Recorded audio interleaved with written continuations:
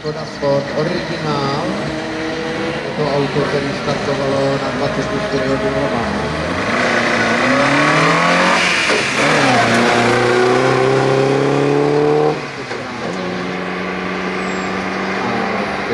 V době start, startoval Milan Veledný i na Le Mans Classic. jestli se-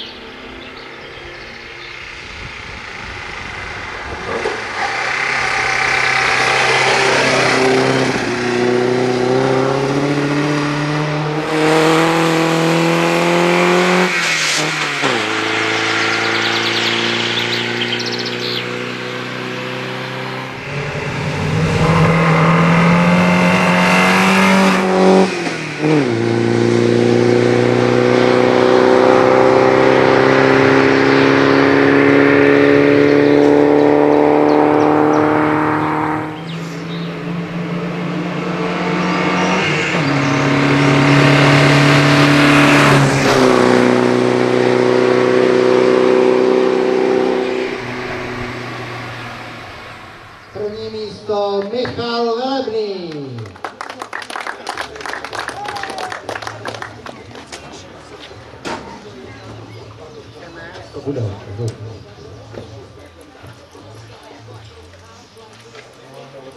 Gratulujeme, děkujeme za účast.